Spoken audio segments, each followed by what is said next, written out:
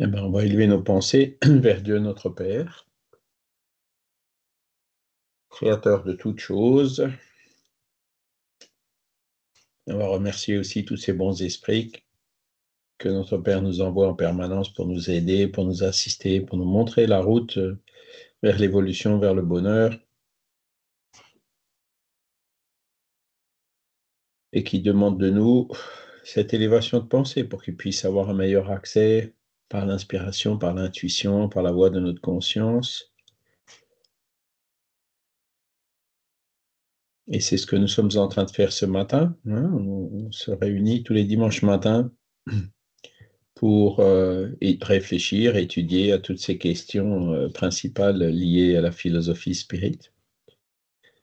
Que ces questions puissent nous aider à comprendre, mieux conceptualiser toutes ces lois de la nature, surtout celles qui gouvernent le monde spirituel et les relations avec le monde incarné, afin que nous puissions, comme nous l'avons vu par exemple dans le dernier cours sur l'homme de bien, essayer de, travailler, d'agir sur nous-mêmes pour devenir chaque fois un petit peu meilleur, chaque jour un peu meilleur que la veille, et préparer un lendemain encore meilleur.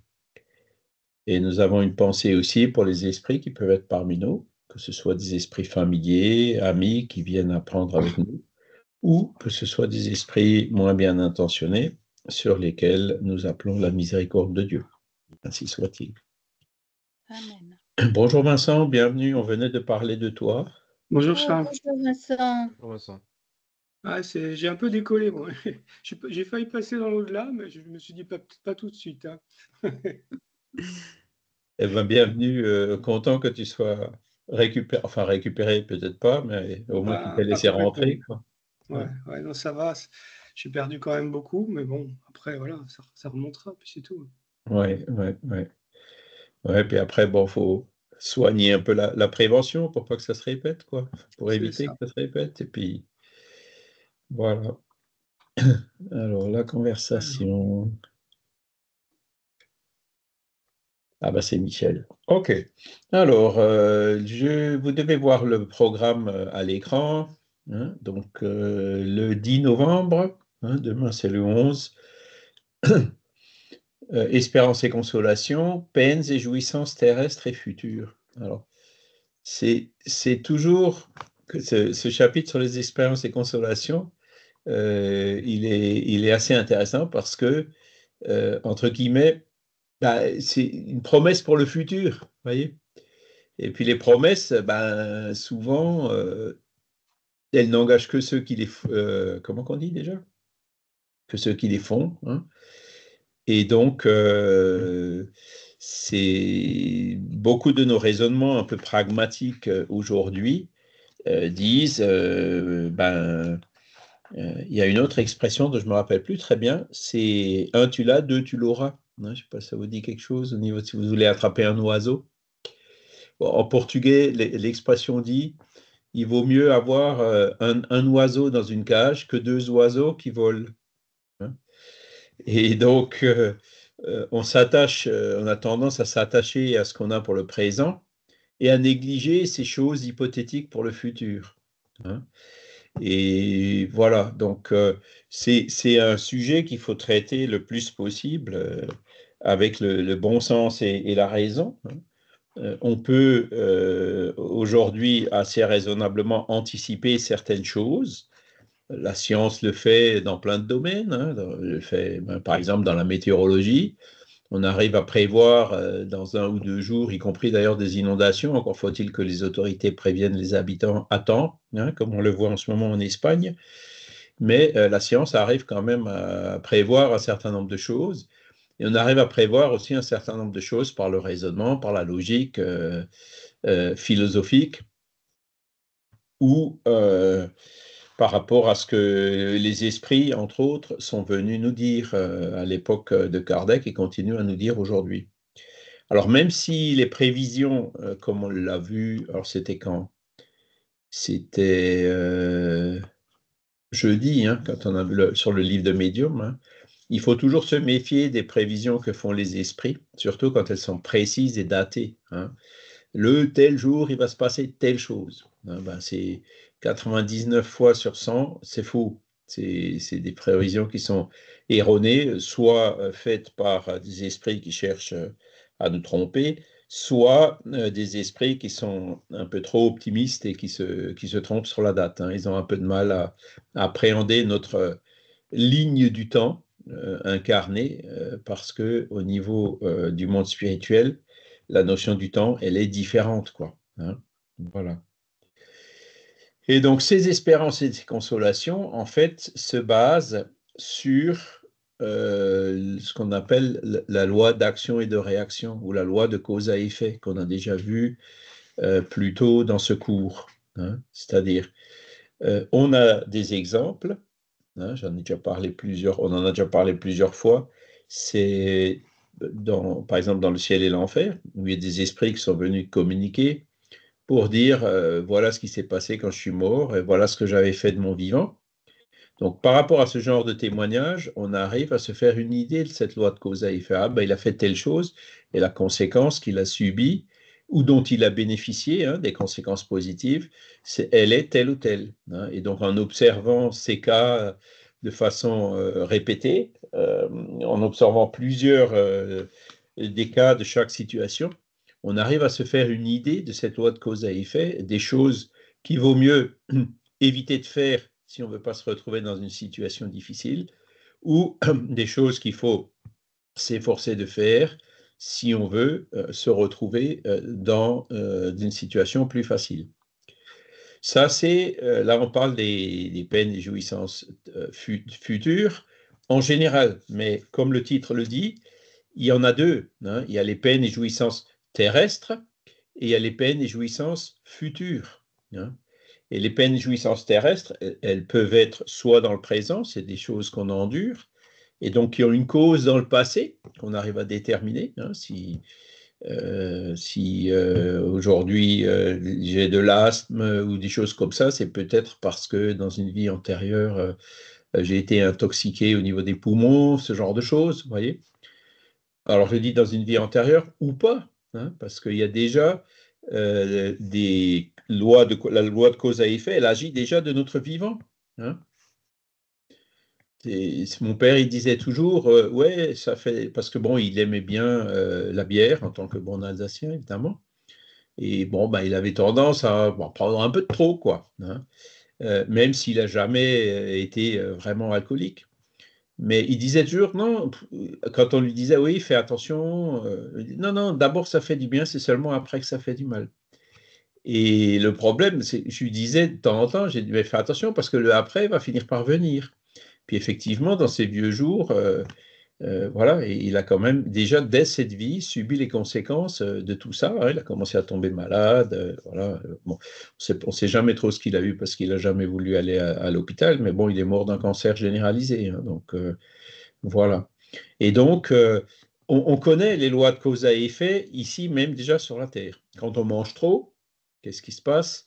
On prend du poids. Il y a les genoux, les articulations, la hanche ou autre qui lâchent. Hein un peu plus tôt que prévu. Il y a euh, le diabète qui risque de venir, hein, c'est une maladie qui nous ronge de l'intérieur. Hein. Il y a euh, le, cholestérol euh, et autres, hein, l'artériosclérose, enfin bref. Tout, tout, ça, ce sont des choses qui sont connues. Quand on fume, pareil, les goudrons, la nicotine, les effets de la dépendance, c'est clairement marqué de façon assez brutale d'ailleurs sur les paquets de cigarettes aujourd'hui. Euh, donc, il y a des choses euh, que la science a déjà euh, déterminées. C'est pas pour autant que, ben voilà, on a quand même notre libre arbitre et ceux qui ne veulent pas ou qui, ne veulent pas y croire ou qui veulent passer outre peuvent le faire, quoi. Mais comment dire, les lois de la nature sont les mêmes pour tous et finissent par s'appliquer. Dès qu'on rentre dans un excès quelconque, ben, euh, souvent c'est dès cette vie qu'on finit par le payer. Après, vous avez des. Moi, j'ai connu une personne euh, aussi, bon, dans ma jeunesse, hein, une personne de deux générations avant moi, qui, euh, voilà, le matin ça allait à 8 heures, mais à midi, il, marchait déjà plus très droit, quoi. Hein, C'était. Voilà. Eh ben, il est mort à 88 ans, je sais pas quoi, sans avoir jamais vraiment été malade. Hein. Bon, ce sont des choses qui arrivent, donc lui, il n'a pas eu les conséquences dans cette vie, mais il a certainement, euh, ben, tous les dommages qu'il a causés euh, à son corps physique se sont peut-être imprégnés dans son père-esprit, et donc feront que, tôt ou tard, ben, il va falloir qu'il corrige hein, tous ces dommages qui ont été causés dans son corps spirituel de par les excès auxquels il s'est laissé aller. D'accord? Voilà. Oh, bon, c'était une longue introduction. Donc là, on va expliquer le bonheur et le malheur terrestre selon le spiritisme. On va réfléchir sur les conséquences des actes humains hein, et on va établir le lien entre la nature des peines et jouissances futures et l'utilisation de notre libre arbitre. D'accord? Alors, est-ce que déjà sur la Terre, est-ce qu'on peut être euh, heureux? On peut hein, avoir bénéficié d'une félicité relative, mais euh, l'être humain ne peut pas encore jouir d'un complet bonheur sur la Terre, car la vie lui a été donnée comme épreuve ou expiation. Mais il dépend de lui d'adoucir ses maux et d'être aussi heureux qu'on le peut sur la Terre. Alors, épreuve. Épreuve et expiation, c'est des mots qu'il faut qu'on explique un petit peu, surtout le mot expiation qui, sonne mal, entre guillemets. Alors, qu'est-ce que c'est que les épreuves? Ben, Ce sont souvent des choses, des circonstances qu'on a demandé nous-mêmes euh, avant de se réincarner pour nous aider euh, à, progresser, pour nous aider à évoluer. Par exemple, bon, ben, si on est impatient, euh, une épreuve, ça peut être des choses ou des événements qui mettent notre patience à l'épreuve, justement. Hein. donc, justement, pour qui nous permettent de l'exercer, hein. De comprendre que d'être impatient, ça sert à rien, ça sert pas à grand chose, si ce n'est euh, là aussi à nous rendre malades, hein, avec l'adrénaline, le stress, euh, ça augmente euh, les risques d'avoir des problèmes de cœur et j'en passe. et donc, que la meilleure attitude encore, c'est la patience, voire même la résignation dans certains cas, qu'on ne contrôle pas. Hein. Voilà. Et l'expiation, alors qu'est-ce que c'est que l'expiation? Donc, je pense que je vous en ai déjà parlé. C'est euh, en fait souvent aussi euh, demandé par nous, même si parfois il y a certaines expiations qui viennent par les lois de la nature, par la loi de cause à effet. Hein. c'est sentir dans notre peau ce qu'on a fait endurer à d'autres. Hein, et en général, ça dure jusqu'à ce qu'il euh, y ait un changement dans notre disposition mentale pour ne plus réincider dans, dans, les mêmes erreurs. D'accord? Donc, je vous cite un exemple d'expiation pour ceux qui ont lu, euh, qui ont vu le livre Exit. Hein, euh, je me tué, ce qu'il s'est passé après.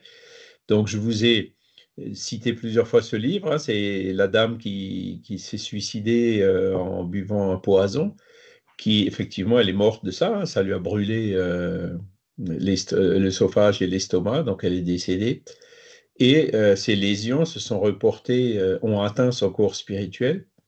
Et pour, une fois qu'elle s'était récupérée, qu'elle avait commencé à, voir la suite, notamment sa prochaine incarnation, elle savait d'avance hein, qu'elle allait avoir un cancer jeune, Hein, et qu'elle allait mourir, un cancer justement des voies digestives, et qu'elle allait mourir ben, en tant que jeune adulte. Et sa mère aussi le savait. Elle, le savait, elle a accepté qu'elle vienne se réincarner chez elle quand même. Hein. Donc voilà la situation. Donc là, on voit que c'est une expiation. Ben, il y a le corps euh, spirituel, le père-esprit, hein, il est endommagé.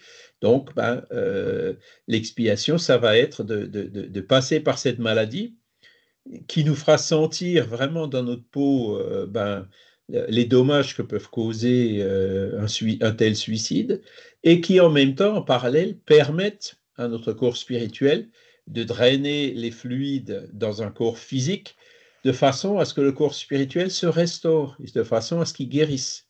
voyez? Ça, c'est typiquement le, genre de cancer qui euh, sacrifie le corps physique mais pour guérir l'âme et son corps spirituel. voyez? C'est la fameuse expression ton cancer t'a guéri. Hein. et, donc, euh, le, but premier qu'il faut qu'on essaye de rechercher, c'est, euh, parce que le, but premier du spiritisme, c'est pas forcément de guérir le corps. Le but premier du spiritisme, c'est de guérir l'âme. Hein. Donc euh, voilà, c'est à partir du moment où on sait que le corps, il est temporaire. Alors quand on peut guérir le corps, avoir un sursis, hein, comme le disait Divaldo, hein, et j'aurais déjà dû mourir plusieurs fois, mais ils m'ont donné un sursis, ils m'ont refait un peu le plein de fluide vital pour que je puisse aller encore 5, 10, 15 ans plus loin. Quoi. Et donc à 97 ans, euh, il est toujours là, euh, euh, actif, alors plus à l'international comme avant, évidemment, hein, parce que le corps physique finit quand même par lâcher. Il a des problèmes de sciatique, de dos, enfin voilà, il peut plus se tenir debout, il est souvent en chaise roulante pour voyager en avion et puis crapahuter dans des salles, c'est pas évident mais euh, il continue quand même dans le groupe euh, là-bas. Il donne des conférences, il fait beaucoup de choses virtuelles, etc. Hein, et, donc, il, et il continue aussi euh, à être, entre guillemets, le leader d'une immense œuvre caritative qui existe là-bas dans un bidonville à Brasilia. D'accord? Donc, on peut effectivement avoir prolongé il faut qu'on fasse tout ce qu'on peut pour profiter de ce corps physique qu'on a eu, pour pouvoir évoluer le maximum. Hein. Donc, euh, c'est pour ça qu'il faut qu'on en prenne soin autant que faire se peut, tout en étant conscient que ben, un jour, tôt ou tard, un moment ou un autre, euh, il va falloir qu'on le quitte. D'accord? Euh, On peut avoir des Jésus devant nous qui nous guérissent, qui nous ci, qui nous ça, mais à un moment donné, on va quand même mourir. Hein. Donc, il faut qu'on soit conscient de ça. Il faut qu'on s'y prépare, sachant que la mort, euh, bah, c'est juste, c'est plutôt à voir comme une libération euh, qu'autre chose. Hein. L'esprit se libère du corps physique et pourra donc dans le futur euh, reprendre, se réincarner quoi, dans un nouveau corps.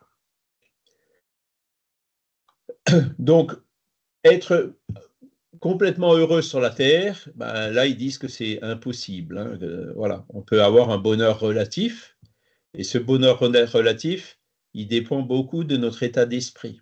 Hein. Le bonheur, euh, il est à chercher à l'intérieur de nous et pas à l'extérieur. Hein. Comme je dis, c'est un état d'esprit. L'argent ne fait pas le bonheur, comme on dit. Beaucoup de gens euh, s'efforcent, crapahutent euh, pour amasser de l'argent, souvent beaucoup plus que ce qui, que ce qui, largement plus que ce qui est indispensable, de ce qui est nécessaire. Et euh, voilà, est-ce que pour autant, euh, en, accumulant de l'argent, on est plus heureux? Non, hein, le bonheur ne dépend pas de ça. Alors évidemment, ceux qui manquent du nécessaire, euh, voilà, c'est plus difficile, même si j'ai une photo, hein, c'est un petit garçon qui est dans un seau d'eau hein, et qui fait un super sourire et puis, la légende dit, il y en a qui sont, euh, qui sont heureux même avec le peu qu'ils ont. Attendez, je vais essayer de vous la retrouver, la photo, parce qu'elle est assez parlante, en espérant que ce ne soit pas une photo protégée par un copyright, parce que on a déjà eu ce genre de blague. Hein.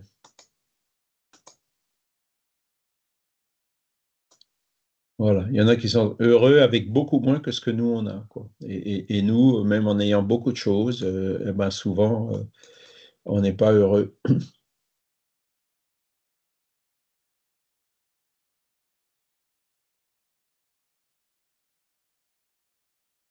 Alors, où est-il? Là, voilà. Voilà, vous voyez la photo?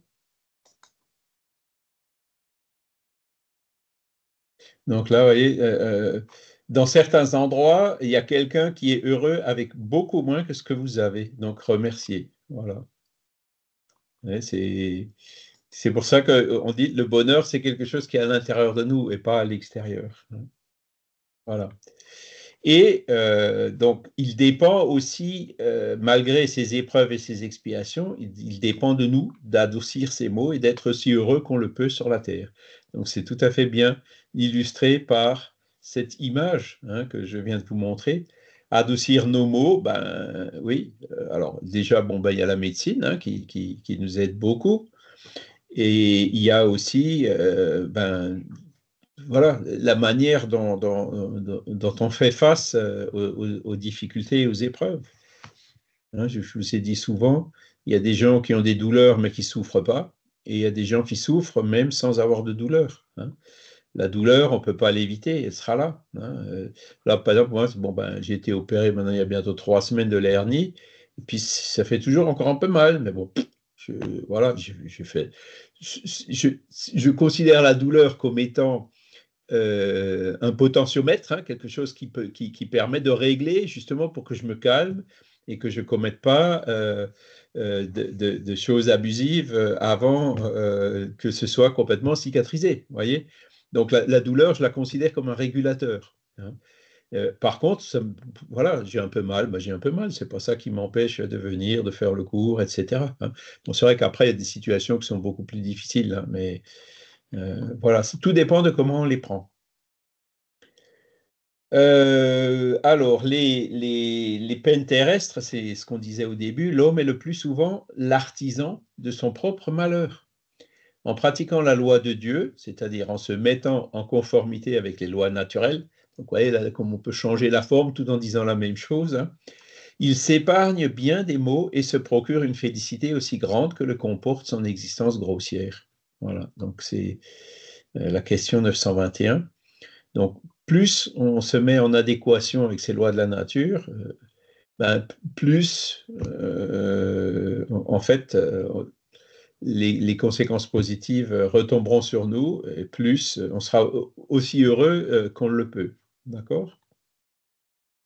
Sachant que, voilà, le bonheur, le bien et le mal, hein, comme on l'a vu dans, les cours précédents, le critère, c'est l'harmonie ou la disharmonie avec ses lois naturelles ou ses lois de Dieu, comme on dit, hein, c'est la même chose. Et donc, plus on est en harmonie avec ses lois de Dieu, plus, euh, moins euh, on souffrira, plus on aura de félicité. D'accord? Alors, euh, on continue avec la question, le commentaire de Kardec à la question 921, donc c'est elle qu'on vient de voir. Nous sommes punis dès cette vie de l'infraction aux lois de l'existence corporelle, par les mots qui sont la suite de cette infraction et de nos propres excès. Alors, infraction ou disharmonie, enfin, vous pouvez là aussi, si le mot infraction est trop fort, on peut le changer. Hein. Si nous remontons de proche en proche à l'origine de ce que nous appelons nos malheurs terrestres, nous les verrons pour la plupart être la suite d'une première déviation du droit chemin. Par cette déviation, nous sommes entrés dans une mauvaise voie et, de conséquence en conséquence, nous tombons dans le malheur. Alors, c'est vrai pour euh, quand on mange trop, c'est vrai pour quand on fume, c'est vrai pour, euh, par exemple, quand on n'est pas prudent, quand on, euh, au niveau des décisions qu'on prend, même d'un point de vue matériel, hein, sur les finances, quand on achète une maison qui est trop grande ou quand on fait des actions qui poussent le petit commerce qu'on a pu monter à la faillite ou à la ruine. Euh, quand on analyse, on voit souvent, bah, si on avait été un peu plus sobre, si on avait été un peu plus prudent, si on avait fait attention à telle ou telle chose, on aurait pu l'éviter. Alors ça, ça fait partie de notre apprentissage. Hein. On ne sait pas toujours à l'avance ces choses-là, mais euh, le fait de passer par ce genre d'expérience, hein, ça nous fait justement gagner de l'expérience, et donc euh, on y gagnera en prudence, en sagesse. Euh, en prévention, euh, etc. Hein, c'est souvent comme ça qu'on apprend. Alors, euh, il y, a, une autre manière d'apprendre, c'est à partir de l'expérience des autres. Hein. Il y en a qui ont une certaine expérience, qui écrivent des livres, et, donc qui nous permettent à nous d'étudier justement cette, loi de cause à effet. Et donc, à partir du moment où on a compris, on peut très bien se dire ah bah là j'ai vu telle chose effectivement si je fais telle si je prends telle décision ça peut avoir telle conséquence qui me portera préjudice plus tard. Mais il y a d'autres personnes qui disent oh ben non non euh, moi je veux expérimenter par moi-même hein, j'ai le droit d'expérimenter par moi-même. Voilà. Chacun choisit son chemin hein, ils arriveront tous au même endroit. Certainement le premier qui profite aussi de l'expérience des autres et qui ne veut pas toujours tout expérimenter par lui-même avancera plus vite hein. euh, mais euh, voilà, on aura toujours une combinaison des deux. D'accord?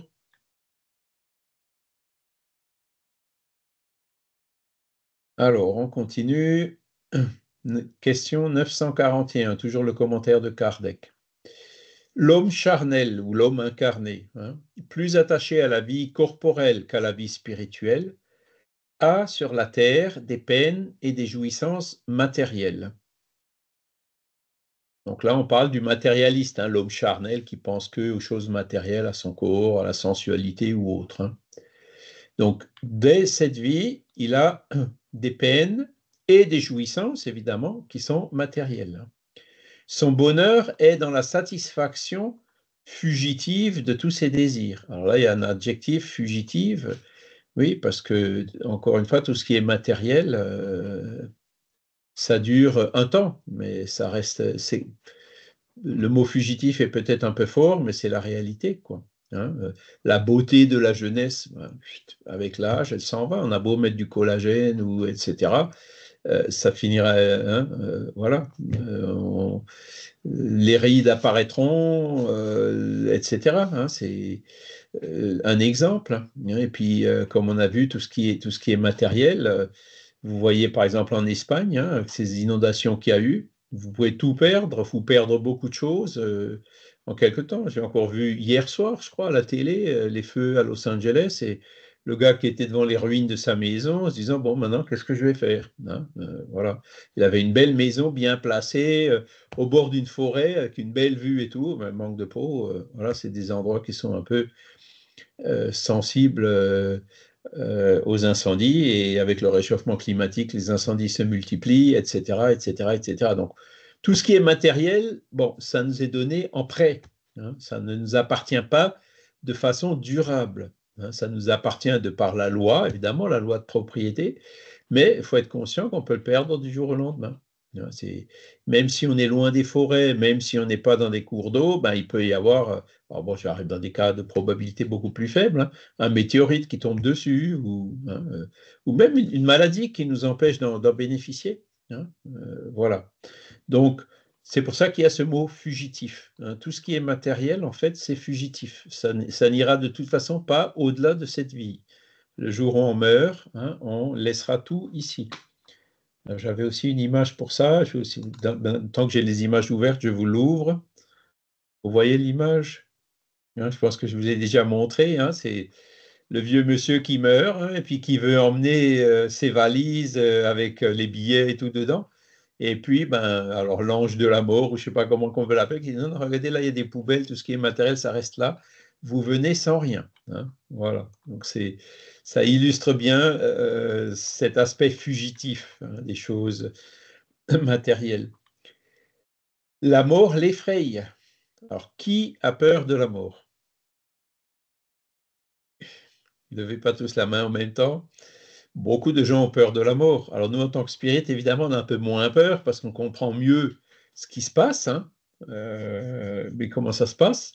Mais bon, euh, je connais beaucoup de spirits qui ils ont peut-être pas forcément peur de la mort, mais ils ont quand même un peu peur euh, de la souffrance avant de mourir, ou ils ont quand même un peu peur de l'inconnu, hein, voilà.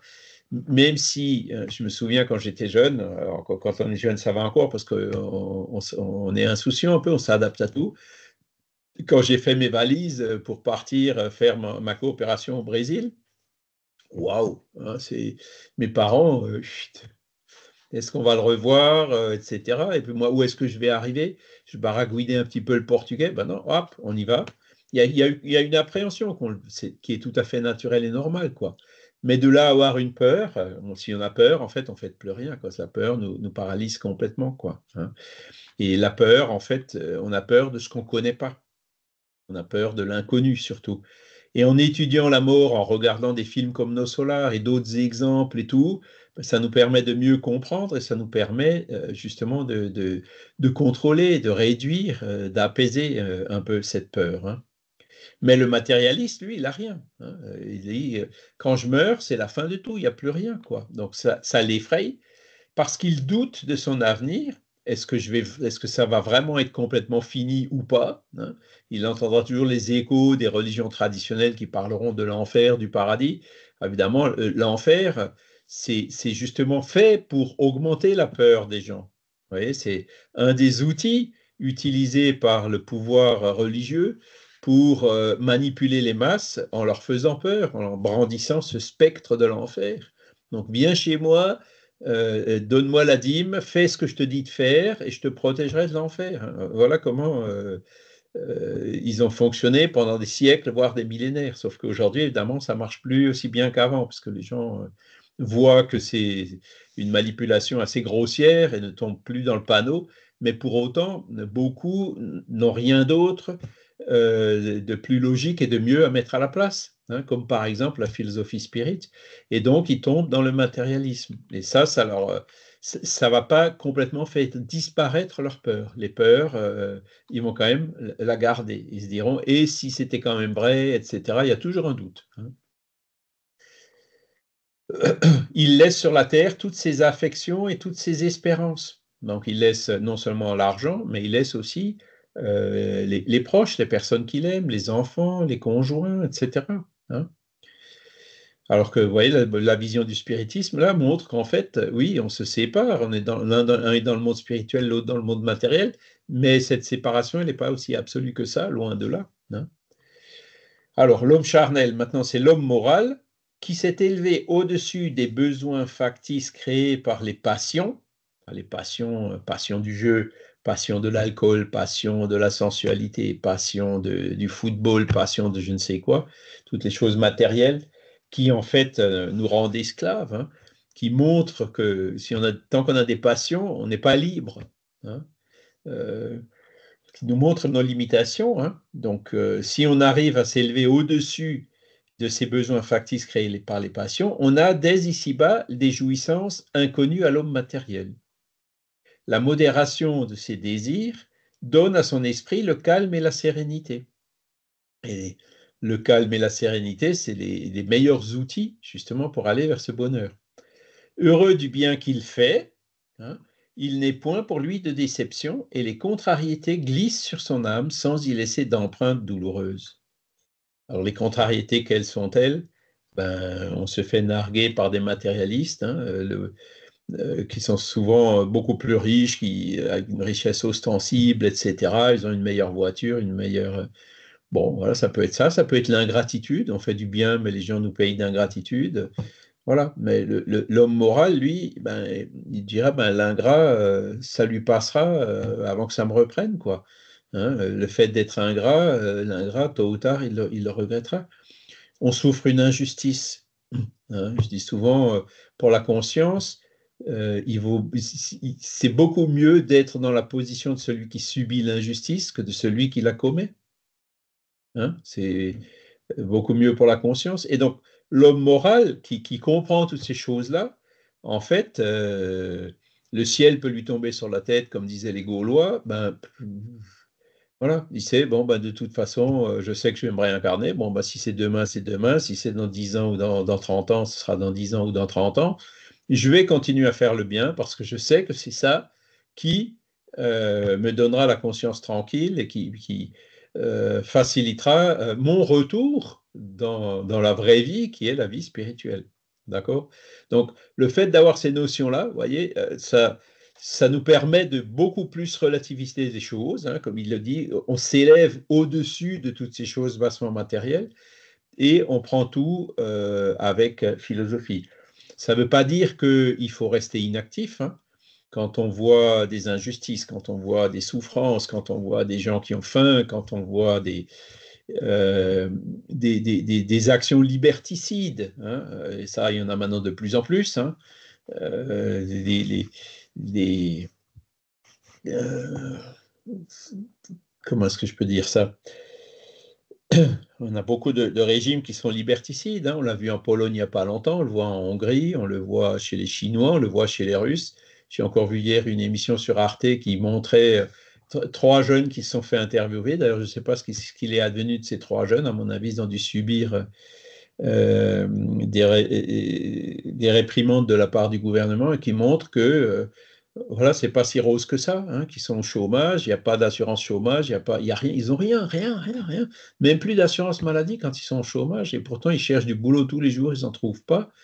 Et donc ça nous montre que euh, voilà, toutes ces, tous ces systèmes, toutes ces choses qu'on veut nous faire croire ici, ne, remplaceront jamais hein, cette philosophie, cette vision spiritualiste qu'on a, hein, de, dire que l'essentiel de la vie, n'est pas ici sur la Terre, il est de, l'autre côté, et qu'ici sur la Terre, il faut qu'on en profite un maximum pour, pour évoluer, hein, pour acquérir des, connaissances et pour acquérir aussi, euh, pour, progresser en bonté. Voilà.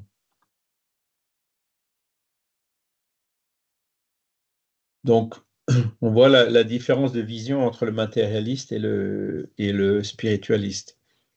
Et effectivement, si on arrive à, relativiser euh, toutes, ces, toutes, déconvenues qu'on peut avoir ici sur la Terre, Mettez-vous par exemple dans la peau de, quelqu'un à Barcelone, euh, dont la maison ou le commerce a été inondé, dont la voiture a été emportée par les flots et tout.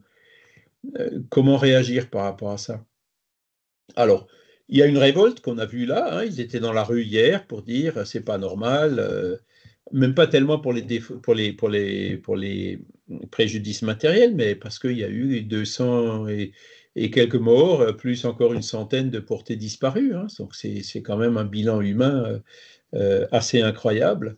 Et donc, ils, réagissent, ils vont dans la rue pour dire, hop, maintenant stop, mettez, alors déjà que les responsables, les inconscients se retirent, ce qui, est, tout à fait légitime, et surtout qu'on mette en place les moyens pour pas que ça se répète, pour que la prochaine fois qu'il y a une inondation comme ça, on soit prévenu à temps, qu'on puisse se mettre à l'abri, etc. Donc, vous voyez, euh, la résignation, ça ne veut pas dire ne rien dire, euh, ne rien faire, dire euh, bon, ben voilà.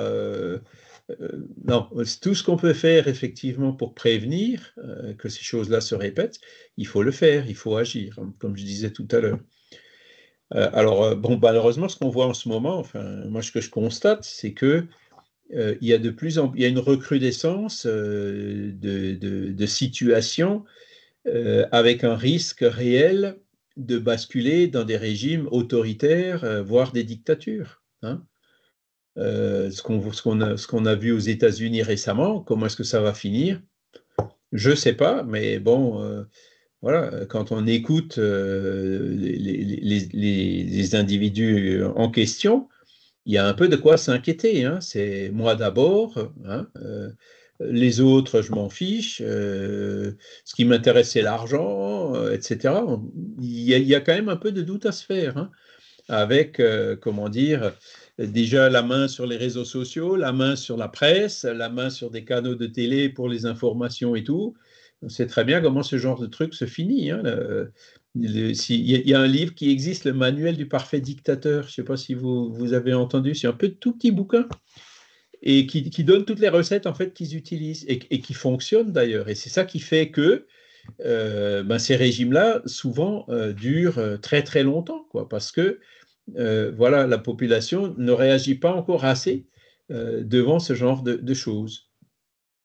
Voilà, c'est peut-être une question de maturité. Il faut attendre que la population évolue encore un peu pour que euh, voilà, elle se rebelle par rapport à ça, hein, par rapport à ce, genre d'excès. Mais aujourd'hui, bon, je pense que c'est un risque euh, qui existe. Et puis même chez nous, en France, euh, on, a encore le risque d'un jour basculer dans un régime beaucoup plus autoritaire que ce qu'on a connu ces dernières décennies. Vincent? On peut le voir de, différentes manières, cette élection américaine. C'est un homme, euh, Donald Trump, qui, a été élevé dans une forme de souffrance. son grand-père et son père l'ont élevé euh, en dépit du bon sens.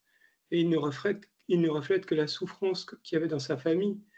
Et les, Américains sont aussi dans un, dans un état d'esprit qui est invivable. C'est-à-dire que nous, nous sommes responsables de notre, de notre réussite jusqu'à un certain point. Et je pense que l'élection américaine ne, fait reflète que la souffrance d'un peuple, que la souffrance d'une population qui n'a pas résolu ses, problèmes personnels. C'est tout. Ah, tu, as raison. Et pourtant, ce qu'on disait tout à l'heure, l'argent ne fait pas le bonheur. Hein. Tu vois que les États-Unis, c'est, je crois, le PIB par, euh, habitant euh, parmi les plus élevés euh, du monde. tu vois, c'est quand même un pays qui, qui financièrement, enfin relativement riche, hein, même si c'est peut-être, il y a, peut-être, voilà, ils perdent quand même peut-être des Suisses ou autres, mais et pourtant, tu vois, il y, a, y a, des souffrances, comme tu le dis. Hein, pourtant, même dans ces pays-là, il y a des gens pauvres. Il y a des gens qui, qui, qui ont du mal à, acheter, à joindre les deux bouts, à acheter des aliments. Mais c'est assez insupportable vivre en Amérique, Charles, parce que c'est un pays où il faut tout se payer. Quoi. Il faut se payer sa retraite, il faut se payer ses, ses prestations sociales, il faut tout, tout, tout. Et, et, si malheureusement tu viens à, perdre euh, du revenu, tu ne peux plus euh, gérer ta vie euh, sereinement. Et c'est des pays où le stress à, à l'existence est beaucoup plus élevé et, la culpabilité, elle a été remplacée par la culpabilité, c'est-à-dire que à la place d'aider les gens, on les culpabilise, ce qu'on fait aussi chez nous. Hein. C'est-à-dire à la place d'aider un chômeur, on lui dit c'est de sa faute parce qu'il veut pas, parce qu'il n'est pas, il est pas assez bien. Il veut pas travailler. Alors, il, y en a. Hein. moi, je connais des, des chômeurs qui, qui sont chômeurs parce qu'ils veulent pas travailler, mais c'est pas le cas général. Tous les chômeurs, les chômeurs ne, sont pas dans ce cas-là. Et, c'est grossier que d'être justement dans le jugement de l'autre. Et moi, je préfère qu'on entende la souffrance des gens, que ce soit en Europe ou, en Amérique, hein, d'ailleurs. Alors, j'ai un ami qui, quand, je travaillais dans, quand je travaillais encore, hein, il, était dans une filiale américaine hein, qui faisait des chaudières. Et à 60, il avait 72 ans, quelque chose comme ça. Il travaillait encore sur des chantiers. Je lui demande, mais comment ça se fait que tu, sois encore obligé de travailler bien ah ben, tu sais, euh, j'ai cotisé hein, pour, euh, dans un fonds de retraite privé. Malheureusement, le fonds, il a fait faillite. Donc maintenant, euh, si je m'arrête, j'ai rien. Alors, moi, je pose la question, hein, qu'est-ce que nous, on veut? Hein? C'est vrai que notre système, il n'est pas idéal non plus, mais il, y a quand même des garanties de l'État, c'est quand même beaucoup plus solide que des fonds privés comme ils ont là-bas. Comme tu dis, tout s'achète, quoi. Et puis la santé aussi, ça s'achète. Hein tu veux ça, tu payes ça, tu veux ça, tu payes ça, tu veux ça, tu payes ça. Hein. c'est, je, l'ai vu quand j'étais euh, en l'an 2000 aux États-Unis, je me suis fait, euh, j'ai chopé une appendicite là-bas, quoi. Je me suis fait opérer. Bon, j'ai eu la chance, je suis tombé dans un hôpital euh, vraiment. alors là, le service, ça n'a rien à voir avec ce qu'on a chez nous. Hein. c'est vraiment le top du top, quoi. Mais après, quand, comment dire, heureusement, j'avais une, assurance voyage hein, qui, avait pris en charge euh, les dépenses parce que c'était euh, dix fois ce que ça coûte chez nous. Quoi. Donc, on n'a rien sans rien. voyez, c'est euh, tout ce qui est matériel. voilà, c'est et donc moi quand même ce qui, ce qui m'inquiète un peu, c'est que ce qu'on entend le plus, autant chez nous que là-bas, hein, je ne veux pas rentrer dans la politique, c'est non, on veut, on veut pas, on veut pas d'immigrés, Hein, et d'un autre côté, on veut du pouvoir d'achat. Donc, le pas d'immigrés, ben, c'est quelque part, euh, on joue encore une fois sur la peur et, euh, pour le pouvoir d'achat, ben voilà, je veux de l'argent pour moi. Euh, on joue sur l'égoïsme des gens. Hein. on a tous un peu d'égoïsme en nous. Et, c'est ça qui m'inquiète un petit peu parce que aujourd'hui, ben voilà, c'est ça, c'est on voit que euh, ce sont ce genre d'arguments qui sont décisifs pour les votes. Quoi. Mais pourquoi tu, répètes ces arguments, Charles? Parce qu'en fait, ce sont des arguments, les, élites, comme tu dis, ont pris le pouvoir sur les médias. Et les sujets qui sont à l'ordre du jour sont les sujets que les, forces d'argent, les pouvoirs d'argent mettent sur la table. Mais ce ne sont pas les vrais sujets. C'est ça, c'est ça. Et, donc, euh, quand, on y réfléchit, on se dit, mais punaise, euh, où est-ce que ce genre d'attitude va nous mener? Est-ce que ça va nous mener vers le monde de régénération? Hein? Euh, moi, j'étais très sensible par exemple, les revendications des gilets jaunes et tout. Bon, bah, je comprends. Je, connais beaucoup de gens, euh, des proches, qui sont dans des situations difficiles, donc je comprends tout à fait bien. Mais à un moment donné, les revendications sont devenues purement matérielles. Et c'est ça qui a tué, euh, qui a fait que le mouvement a fini par s'estomper, quoi. Hein. parce que non, il faudrait qu'au-delà des revendications purement matérielles, il y ait aussi des revendications euh, un peu plus larges, quoi, qui, qui, vont plus loin que ça. Et justement, on parle euh, ben, de, de, de, tout ce qui peut nous aider à être heureux, et c'est pas forcément l'argent, quoi. Hein. alors que euh, avec les œillères, on pense que c'est que l'argent, donc on revendique que ça et on passe à côté de beaucoup d'autres choses. Alors que l'argent ne va pas nous forcément nous rendre heureux, même si on en reçoit. Il y aurait d'autres choses qui pourraient nous rendre beaucoup plus heureux que tout simplement l'argent. Et c'est là où je regrette un peu que ben, les revendications par rapport à ces autres choses, hein, par rapport à l'apprentissage, par rapport à la culture, par rapport à voilà, euh, tout ce qui peut nous faire euh, grandir et évoluer, ben, c'est là on ne les entend pas trop. Hein, on n'entend que des revendications matérielles. Vincent? C'est notre responsabilité, Charles, d'abord de, permettre d'aborder les vrais sujets. La spiritualité fait partie des, des possibilités d'aborder les véritables sujets de fond c'est-à-dire les besoins, quels sont les véritables besoins que nous avons chacun. Moi, je le vois, là, j'étais malade, euh, tellement entouré, j'étais gêné parce que tous les gens voulaient m'aider, ils m'appelaient, ils voulaient tous euh, venir à, la maison, aider tout, ma mère parce qu'elle est en difficulté chez moi. Et, j'ai dit, ce n'est pas possible, vous ne pouvez pas tous venir à la maison. Parce que, en fait, je n'ai fait que recevoir ce que j'avais donné avant. Je donne beaucoup, moi, je, suis quelqu'un qui donne beaucoup d'amour autour de moi, beaucoup de présence, beaucoup de disponibilité. Eh ben, je l'ai reçu par 10. Et c'était gênant. C'était un peu gênant parce que ben, parce que c'est pas possible d'avoir euh, des visites tous les jours euh, à l'hôpital. C'est pas possible de voilà. Et j'étais très content que ma, mère soit prise en charge. Euh, on lui a permis de, de me visiter parce qu'elle n'a pas les moyens de se déplacer.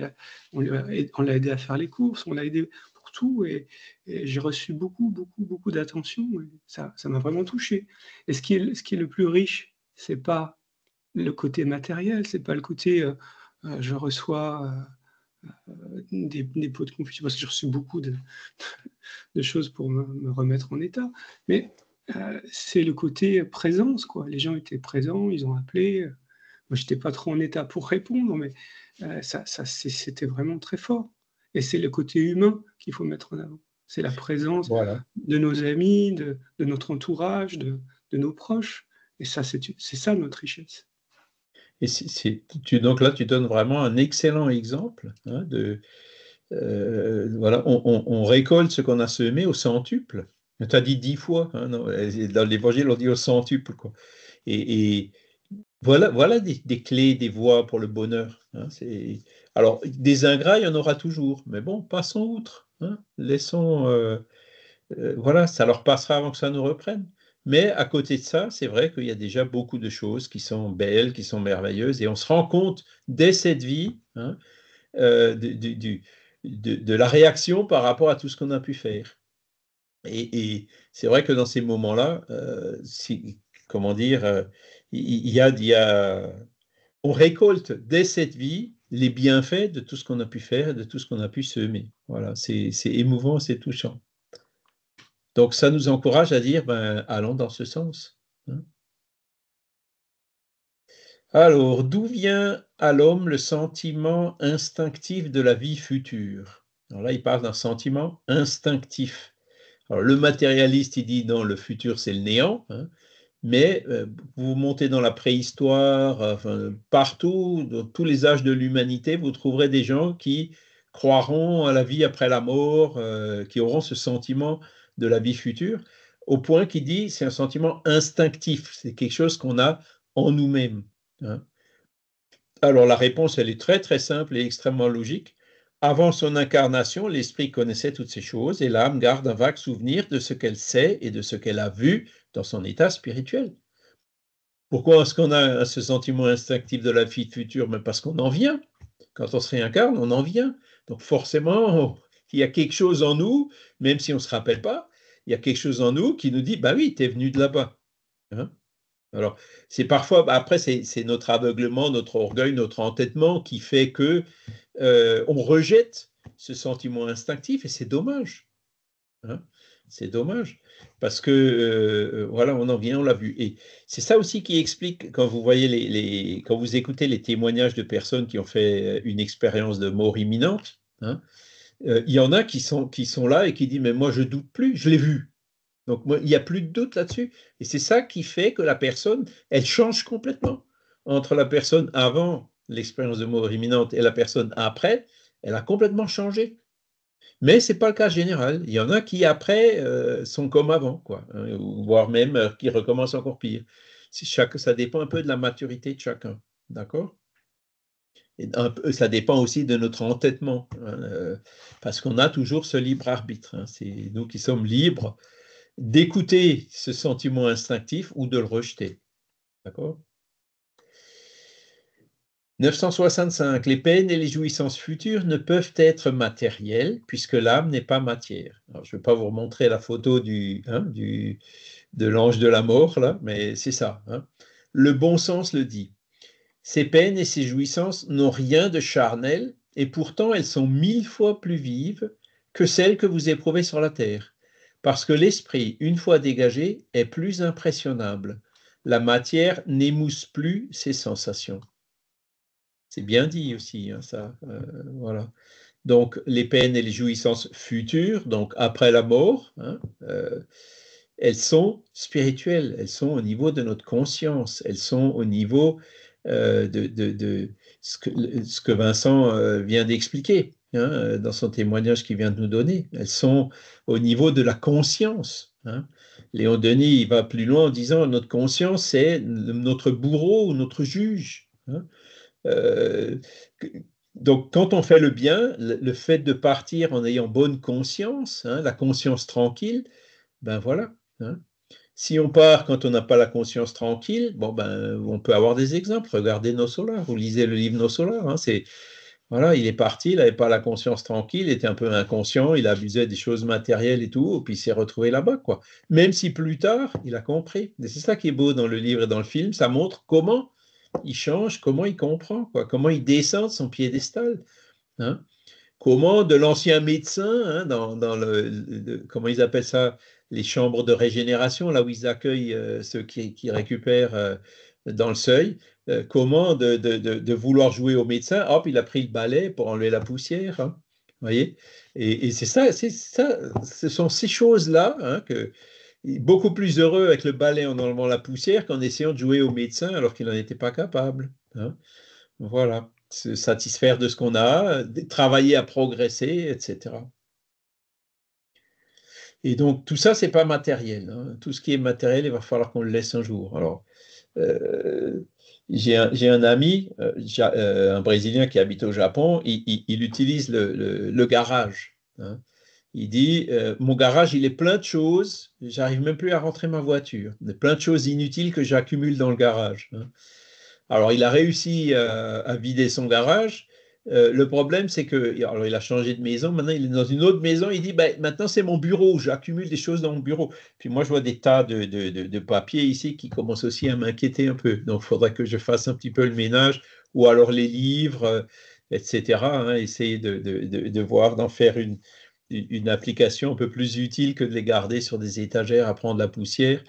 Voilà le genre de réflexion qu'on peut avoir en se disant, euh, voilà, si ça se trouve, demain, hop, il y a quelque chose qui pète là-dedans ou là-dedans, ou euh, voilà, un accident quelconque, et je peux être de l'autre côté. Quoi. Mais après, qu'est-ce que ça va devenir tout ça? Ben, C'est les survivants qui, voilà, euh, souvent ne s'intéressent même pas à ce que je fais. Hein, euh, qui, voilà. Je me souviens de Roger Pérez hein, quand, quand, quand, je suis allé à son enterrement. J'ai vu son, son, son, enfin son, son, neveu, quoi, son héritier. Et il me disait, ben, écoute, euh, on va vendre l'appartement, il faut le vider, il y a encore plein de livres, je vais les mettre à la benne. Est-ce que je peux venir voir les livres avant que tu les mettes à la benne? Ben, je suis revenu avec une voiture pleine à craquer de livres et de revues. Quoi, hein. Donc c'est là où vous voyez comment les choses se passent. Hein. Où sont les archives de Léon Denis hein? Elles étaient dans un groupe euh, à Tours. Et, d'après euh, les, personnes qui, sont, qui ont survécu à la dissolution de ce, de ce tout a été jeté. les gens ne savent pas ce que c'est, c'est du papier et hop, boum. Euh, donc voilà, c'est euh, tout, ce qui est matériel, il faut bien se dire que euh, ça passera. Voilà. Alors que si on le dématérialise, c'est ça l'encyclopédie spirit, c'est un peu ça, hein. on dématérialise et euh, on en fait profiter tout le monde, quoi, le monde entier. Et, on essaie de le mettre sur des, plateformes, je ne sais pas quelle est la durabilité de, tous ces méga stockages à droite à gauche. Moi, je sais que même si je mets des choses sur un, cloud, comme on dit, hein, j'ai toujours un disque dur ou deux qui, sont, qui sont à côté, dans lesquels de temps en temps je fais une copie. Vous voyez, si jamais Internet tombe complètement, ben, les données, je les ai toujours là. Et puis, je sais qu'il y a 10, 50, 100 autres personnes qui ont fait la même chose. Donc, ce ne sera pas perdu euh, à tout jamais. Quoi. Donc, on essaie de prendre des précautions pour ce qui est important. Et puis, ce qui n'est pas important, euh, ben, il faut, euh, voilà, tout ce qui est superflu, il faut travailler dès maintenant à s'en défaire. Hein. Vincent? Charles, tu peux perdre tous les livres du monde par contre, tous les dimanches matins qu'on a passés ensemble, c'est des moments que tu ne perdras jamais. Ouais, bah ça reste dans les mémoires. Merci. Ça reste aussi, bah c'est enregistré, hein, c'est sur YouTube. je ne sais pas si YouTube, euh, pour l'instant, euh, même ce qu'on a enregistré il y a 10 ans, c'est toujours là, quoi. Mais voilà, c'est euh, notre conscience, notre âme, ce qu'on a en nous, ce qu'on a appris, ce qu'on a acquis, ça, on ne le perd pas. Ça, ce sont les valeurs euh, éternelles qu'on garde avec nous et qui vont euh, agir de façon euh, tangible hein, sur, sur les, peines et les jouissances futures. D'accord? Les souffrances des esprits inférieurs, sont aussi variées que les causes qui les ont produites et proportionnées, et proportionnées au degré d'infériorité, comme les jouissances le sont au degré de supériorité. Elles peuvent se résumer ainsi. Envier tout ce qui leur manque pour être heureux et ne pouvoir l'obtenir. Voir le bonheur et n'y pouvoir atteindre.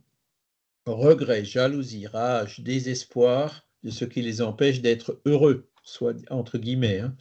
Remords, anxiété morale indéfinissable. Ils ont le désir de toutes les jouissances et ne peuvent les satisfaire, et c'est ce qui les torture. C'est fort hein, quand, on, voit ça. Alors déjà, ben, regret, jalousie, rage, désespoir, ce pas des choses qui nous rendent vraiment heureux, n'est-ce pas qui nous des choses qui nous font plutôt euh, sombrer dans, dans, la dépression. Hein. Et en fait, il y a une expression qui dit être riche, c'est euh, savoir euh, être satisfait de ce qu'on a. Le petit garçon dans son seau, il, est heureux parce qu'il ne veut pas plus, il n'a pas besoin d'un spa. Hein. Alors qu'il y en a d'autres, ils ont trois spas chez eux et ça ne suffira pas à les rendre heureux. D'accord? Hein. Mbappé, l'autre jour, je le voyais. Alors, je ne sais pas si c'est vient de lui ou si c'est indirect ou si c'est un, fake news. Si c'est un fake news, euh, mais bon, je prends juste comme exemple. Hein. Euh, il se plaint parce que, euh, comme il a maintenant 5 ou 6 Maserati, Porsche, Lotus ou, je ne sais quoi, ben, il n'a plus, il pas assez de garages pour les garer, donc il est obligé d'acheter d'autres maisons avec d'autres garages. Bon, voilà. C'est je, caricature un peu, hein, mais voilà. Hein, euh, quand on se satisfait de ce qu'on a, même si ce n'est pas grand-chose, hein, tant qu'on a, encore une fois, le nécessaire, et encore la, limite du nécessaire et du superflu, elle est aussi un peu à géométrie variable selon les personnes. Euh, ben, si on se satisfait de ce qu'on a, on est heureux. On est riche. Et c'est la même chose quand on va dans la vieillesse. Euh, être jeune, c'est savoir vieillir. Le bonheur, alors ça, donc ça, c'est les, malheurs des esprits inférieurs, d'accord, sont très variés, et puis c'est surtout ça, quoi, c'est l'envie, hein, envier, ce mot envier qui vient voir le bonheur et n'y pouvoir atteindre. Bon, voilà, euh, ben, si Mbappé, il a 5 Maserati et, et 4 Porsche, eh ben, tant mieux pour lui. Tant mieux pour lui, si ça peut le rendre heureux. Moi, je suis content avec mon vélo et puis avec mon... Hein, voilà. Et là, on passe au, le bonheur des bons esprits. Donc, résulte dans, euh, dans l'au-delà, hein, donc résulte du fait de connaître toute chose, donc la science, le savoir, hein, connaître les lois de la nature, n'avoir ni haine, ni jalousie, ni envie, ni ambition, ni aucune des passions qui font le malheur des hommes. Hein? L'amour qui les unit est pour eux la source d'une suprême félicité.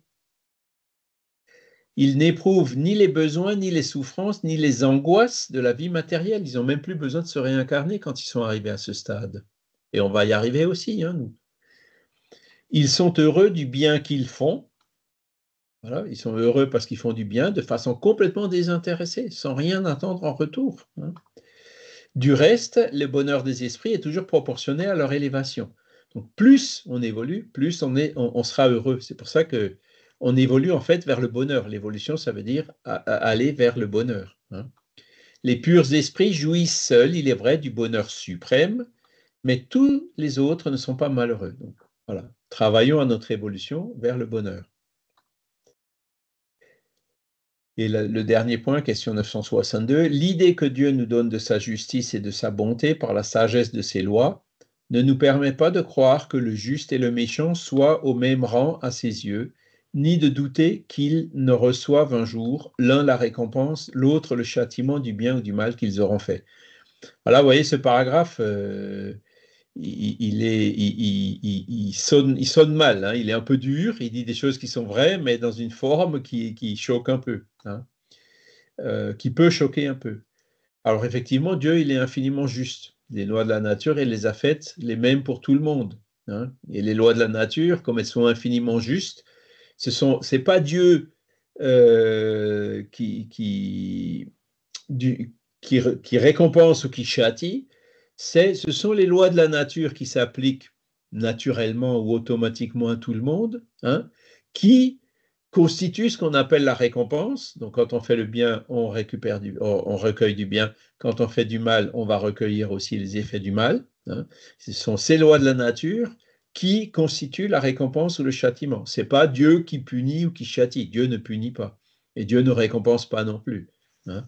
On se récompense nous-mêmes de par notre adéquation avec les lois de la nature, ou on se punit nous-mêmes de par euh, tout ce qu'on fait qui est euh, pas en harmonie avec les lois de la nature. C'est comme ça qu'il faut le voir. Mais bon, cette phrase, en gros, c'est ça que ça veut dire. Hein. même si dans sa forme, euh, elle est par trop imprégnée de, ces idées religieuses. D'accord? Voilà. Alors, il y a, ça me fait penser à un autre livre, Conversation avec Dieu, ça vous dit quelque chose? Hein, En trois volumes de Neil, je ne sais plus comment, là, un, auteur américain. Neil Donald Walsh. Neil Donald Walsh, voilà. Euh, j'avais commencé à lire le premier tome, mais bon, euh, j'ai pas réussi à aller très loin. Mais, j'ai un ami qui l'a lu jusqu'au bout, puis qui, m'a rapporté des choses du genre, euh, bah, il écrit que Hitler est au paradis. des choses qui choquent un peu comme ça, quoi. Hein, et, qui, et, contredisent un peu ça. Hein. Est-ce que la personne qui a vraiment fait le mal est, très, est, traitée, entre guillemets, par les lois de la nature de la même manière que ceux qui font le bien? Bon, on ne peut pas voilà, ce serait, ce serait pas juste, on est bien d'accord.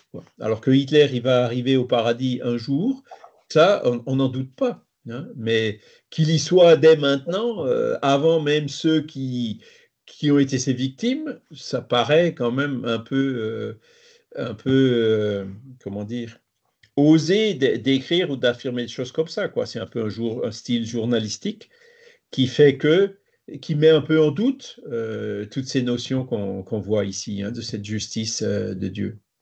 Vincent? Juste pour faire une remarque par rapport à ça. Est-ce que nous sommes nos souffrances? C'est-à-dire que nous avons de la souffrance à un moment donné dans notre vie, où euh, nous sommes porteurs, par exemple, de maladie ou autre chose, mais nous ne sommes pas notre maladie, nous ne sommes pas nos pensées. Et ça, c'est important de, de se désidentifier de, de la pensée qui est, dans laquelle on est porteur, parce que c'est quelque chose qui enferme et on a besoin d'ouverture sur le monde. On a besoin d'ouverture justement sur, ce bonheur, on a besoin d'une vision. quoi. C'est pour ça qu'on parle d'espérance et consolation. Hein. On n'est pas une feuille qui est ballottée au hasard par le vent. Non, on, sait où on va aller. Hein. Quand on a parlé des purs esprits tout à l'heure, on sait qu'on va y arriver un jour, hein, qu'on va y arriver vers ces esprits heureux, et que ça dépend que de nous d'y arriver plus ou moins vite. Hein? Donc, euh, ça nous donne une ligne de mire. Hein, ça nous donne un objectif, ça nous dit clairement le sens dans lequel il faut qu'on aille si on veut avancer vers ce bonheur. Jackie? Oui. Euh, pour ma part, euh, Conversation avec Dieu, donc je l'ai lu, j'ai lu les trois tomes, j'ai même lu deux fois. Euh, pour moi, c'est un livre aussi fondateur de mon parcours spirit. Ça a été ma porte d'entrée vers le spiritisme. D'accord.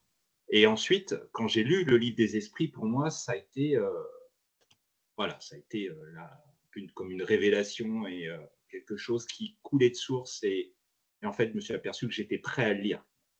Mmh Mais euh, pour revenir à Conversation avec Dieu, il est intéressant parce que c'est, d'une part, c'est vulgarisé et d'autre part, moi, je vois pas de choses antinomiques par rapport à, toutes les notions qu'on aborde, si ce n'est que ce n'est juste que survolé dans Conversation avec Dieu mais euh, pour moi, il y a de la cohérence par rapport à tout ce que j'ai pu voir par la suite et que ça reste euh, un, bon vecteur euh, pour le commun des mortels qui n'est pas croyant aujourd'hui. Mmh D'accord, ben, voilà, c'est pour ça que, comment dire, il a son utilité. Hein, ah il, y a, il, y a, ce style journalistique qui plaît, voilà, qui séduit un peu. Ben, peut avoir effectivement son utilité. Tout comme Charbonnier. Charbonnier, c'est pareil, hein, il, y va vraiment, euh, c'est un peu comme euh, à la hache, hein, euh, pour dénoncer justement ce, comment qui dit, on est dans un pays sous-développé spirituellement. Hein. on peut parler de pornographie, on peut parler de plein de choses, mais parler d'esprit, ça on peut pas en France. donc, et surtout dans la médecine. Et donc, il, a eu un style fort, un peu rentre-dedans, euh, qui, pareil, est là pour euh, interpeller les gens. Donc, c'est pour ça qu'il il, faut de tout. Hein. Alors, de là, après, euh, que l'auteur, par exemple, il, prétende qu'il a vraiment conversé avec Dieu, c'est un des premiers points que j'ai vu. Je me dis, mais comment est-ce que tu es sûr que tu as conversé avec Dieu? Ah, ben, j'en suis sûr. Hein, c'est expliqué un peu comme ça dans le début du livre. Je dis, bon, voilà, ça, me laisse quand même un peu dubitatif. Est-ce que c'était vraiment Dieu? Personnellement, voilà, je pense que, encore une fois, c'est euh, un, effet d'image, de pub ou autre. Si ça peut aider des gens, tant mieux. Hein. Mais moi, euh, personnellement, voilà, comme j'ai lu le livre des esprits avant de lire ce livre, je ne suis pas arrivé très loin dedans. Quoi. Je t'invite euh, à poursuivre ta lecture parce que l'esprit qui se communique, justement, il ne dit pas que c'est Dieu. Il dit est-ce que tu en es sûr? Est-ce que. Et puis, et puis, euh, finalement, euh, la conversation, elle est assez bien faite parce que l'esprit va l'amener à se poser la question. Et justement, à se dire, mais euh, est-ce que c'est vraiment Dieu? C'est peut-être quelqu'un d'autre? C'est peut-être. parce que à aucun moment, l'esprit dit, je suis Dieu, je, viens, je viens de communiquer à toi en tant que Dieu. Ça, c'est clair. Mmh enfin bon, c'était assez ambigu au début du livre. Hein. mais ce n'était pas l'esprit qui parlait, c'était l'auteur lui-même qui parlait. Hein. Mmh. Vincent? Juste pour faire une petite remarque, c'est des livres qui font du bien. Moi aussi, je les ai lus les trois plusieurs fois. Et c'est des livres qui aident à, mettre sa vie en perspective. Ça aide à comprendre certaines choses de la vie. Quoi. Et ça fait beaucoup de bien. Par exemple, quand il se marie, euh, il explique qu'en fait, il n'enferme pas sa femme dans, dans, dans, le mariage, il la laisse libre. Et il y a tout un texte autour du mariage qui est très chouette il y a, beaucoup de sujets qui sont abordés. Et, souvent, c'est ces sujets, mais pourquoi il y a de la souffrance dans le monde? Quel sens a la souffrance? Qui est, dans ce monde Et c'est vraiment des sujets qui traversent toute la, toute la pensée de, notre population. Et ça, fait du bien. C'est des livres qui font beaucoup de bien. Ah, je vais hein. reprendre. Moi, j'ai lisé ça en été, quand j'étais au camping, tranquille, ça me détendait, ça me permettait d'être bien, bien dans ma mmh. vie, tout bêtement. J'ai bien aimé. Il n'y a, pas que ce livre-là, il y a d'autres livres qui font du bien aussi. Les, lois spirituelles de Vincente Guilherme, et qui sont aussi, ah qui est plus court, qui est plus, euh, qui est plus compact. Mais, tu nous avais envoyé le lien, ouais. ouais mhm. qui, va beaucoup plus loin dans, dans la réflexion sur ce que c'est que l'égoïsme, par exemple, parce que euh, et ce que ce que c'est que l'amour inconditionnel derrière l'amour derrière l'égoïsme il y a aussi l'amour inconditionnel qu'on peut d'abord s'accorder à soi-même et qui est pas qui est souvent les gens entendre par amour inconditionnel relation amoureuse inconditionnelle. Mais ce n'est pas du tout ça dont il est question. C'est d'abord s'accueillir en tant qu'individu et accueillir sa souffrance quand sa souffrance résonne hein, par rapport à une personne qui est aussi elle-même en souffrance. C'est apprendre à, grandir spirituellement. Et c'est ce livre des lois spirituelles de Vincent Guilherme est, très chouette, quoi, parce que c'est aussi un truc complètement bizarre, puisqu'en fait, il, entre en relation dans des voyages astraux avec un guide spirituel qui lui explique en fait quelles sont les lois spirituelles de ce monde. Quoi. c'est très chouette. Mm. Il y en a un autre que j'ai que j'ai pas encore réussi à que j'ai pas encore acheté, c'est qui est cité beaucoup par euh, Philippe Guillemont dans ses livres. Il parle beaucoup de Gita Malaj, dialogue avec l'ange. Mais je voilà. Alors lui, donc Guillemont, il a, il a lu, ce, il a beaucoup aimé ce livre, il le cite beaucoup dans ses livres. Il cite aussi le livre des esprits. Par contre, le livre des esprits, ça n'a pas, voilà, il, le cite, mais il n'en parle pas plus. Donc, euh, qu'est-ce qui s'est passé? Est-ce qu'il l'a lu? Est-ce qu'il a compris? Est-ce qu'il n'a pas compris? Euh, Il n'y a pas eu l'effet euh, que Jackie nous a dit, quoi. Hein, d'y retrouver quelque chose de, logique, hein, de, rationnel, pour abonder dans le même sens. Par contre, le Gita Malas, j'avoue que je ne l'ai pas lu. J'ai vu qu'il y a plusieurs livres de lui. Voilà, donc, ben, voilà, c'est. Pour citer, continuer à citer Philippe Guillemont, il dit le futur est déjà réalisé. Oui, c'est vrai, le futur est déjà réalisé. Dans le futur, on sera heureux. Hein. Donc ça, on le sait. Hein. c'est quelque chose qui... Alors après, où, quand, comment, euh, euh, dans ce qui parle de l'arbre de vie, avec, on passera par quelle branche, etc. Bon, ben ça, on ne sait pas. Ça, c'est dans le détail, ça, dépend de notre libre arbitre. Mais on sait que dans le futur, on ira vers ce bonheur. Hein. c'est comme ça que j'interprète euh, ces cette façon de dire que le futur est déjà réalisé, euh, que le futur influe sur le présent. Euh, pareil, on sait qu'on va aller vers le bonheur, euh, mais c'est aujourd'hui qu'on agit justement pour aller vers ce bonheur. Hein. Le futur influe sur le présent, mais dans le présent, on peut choisir entre différents futurs. on rentre un peu dans la mécanique quantique pour expliquer tout ça, mais voilà, c'est une image qui euh, est peut-être un peu complexe, hein, c'est pas toujours facile à comprendre, mais qui euh, correspond tout à fait bien euh, avec ce thème des espérances et des consolations. Voilà. Est-ce que vous avez des questions encore, des remarques?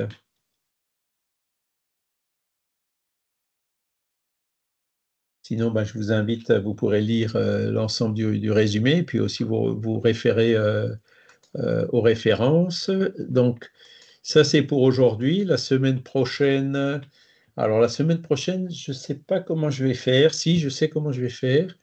Euh, en fait, la semaine prochaine, on est en Belgique à Ciné. Hein, donc, euh, moi, j'ai pris un hôtel, euh, comme d'habitude, à Givet. Donc, c'est la pointe de, des Ardennes, là. Et donc, je pense que je pourrais faire le cours du 17 à partir de de, l'hôtel. Hein. S'il n'y a pas de Wi-Fi, je, prendrai avec mon téléphone, avec la 4G, donc je devrais arriver à le faire euh, pour ensuite partir et puis arriver à Givet une demi-heure plus tard. Quoi. Donc euh, voilà, ça devrait pouvoir le faire. Et la semaine prochaine, donc, on va passer au module suivant, le module 20, qui nous parle de la vie dans le monde spirituel. Hein. donc, vous voyez, il y en a un, deux, trois.